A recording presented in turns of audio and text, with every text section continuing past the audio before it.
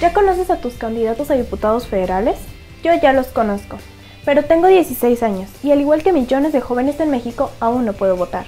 Tú que ya eres ciudadano mexicano, elegirás a los representantes del pueblo en la Cámara de Diputados Federal, por lo que elegirás el futuro de tus hijos, el mío y el de miles y miles de jóvenes que aún no pueden votar.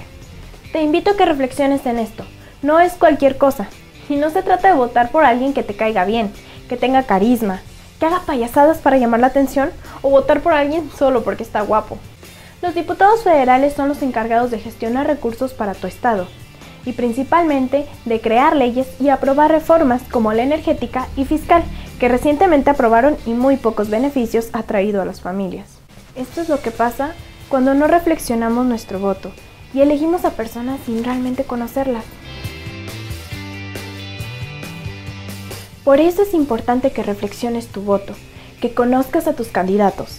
No importan colores o partidos. Lo que verdaderamente importa es que analices las capacidades y trayectoria de cada uno de los candidatos y votes por el que creas que tenga mayor capacidad y carrera política.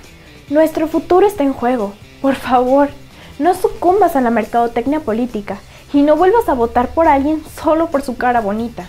Toma todo lo que te ofrezcan, pero no vendas tu voto. Hazlo por los miles de jóvenes que aún no podemos votar. Hazlo por tus hijos. Vale por México.